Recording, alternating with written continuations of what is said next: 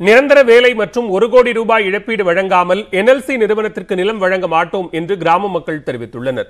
கடலூர் மாவட்டத்தில் உள்ள நெய்வேலி அனல்மின் நிலையத்தில் இரண்டாவது சுரங்கத்தை விரிவுபடுத்தவும் மூன்றாவது சுரங்கம் அமைக்கவும் முடிவு செய்யப்பட்டுள்ளது. இதற்காக சேத்தியாத்தோப்பு கம்மாபுரம் அகரம் வலைமாதேவி கத்தாழை மும்முடிச்சோழன் உள்ளிட்ட முப்பதுக்கும் மேற்பட்ட கிராமங்களில் நிலங்களை கையகப்படுத்த திட்டமிடப்பட்டுள்ளது.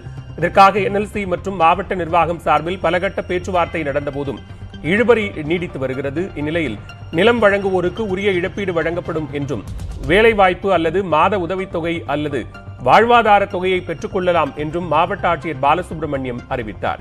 இதனை ஏற்றுக்கொள்ள முடியாது என்று கிராம மக்கள் தெரிவித்துள்ளனர்.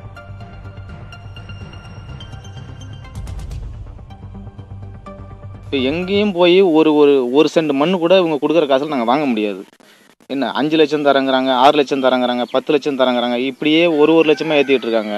என்ன ஒரு ஏக்கருக்கு ஒரு கோடி ரூபா கொடுத்தாதான் நாங்கள் வந்து எங்களால் வாழ முடியும்.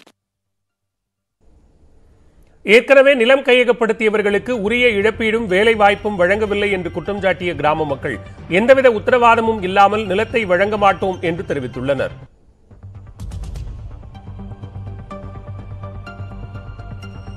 இது வரைக்கும் எதுவுமே பண்ணது கிடையாது. அவங்க சொன்னதோட சரி. எங்களுக்கு ரெண்டு லட்சம் ஒரு லட்சம் மூணு லட்சம் தரேன்னு சொல்கிறாங்க அந்த பணத்தை வாங்கிட்டு எங்களால் ஒன்றுமே பண்ண முடியாது. எங்களுக்கு நிரந்தரமான வேலை கொடுக்கட்டும் வீட்டுக்கு ஒரு ஆளுக்கு வேலை கொடுக்கட்டும். வீடு கட்டி கொடுக்கட்டும். எங்களுக்கு பத்து சென்ட் மண் வேணும். வீடும் கட்டியும் கொடுக்கட்டும்.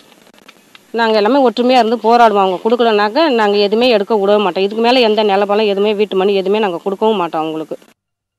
போதுமான இழப்பீடு தொகை நல நிலச்சி நிர்வாகம் கொடுக்கறதுக்கு முன் வரல. அதனால் தமிழக அரசும் மத்திய அரசும் தலையிட்டு எங்களுக்கு வந்து இந்த பகுதி மக்கள் வந்து நேரடியாக க கணக்கெடுத்து எங்களுக்கு ஒரு இழப்பெடுத்து கொடுக்கணும். வீட்டு ஒருவருக்கு நிரந்தர வேலைப்பு கொடுக்கணும்.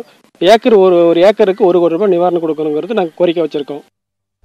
பாலிவுட் நடிகர் அமிதாப் பச்சனின்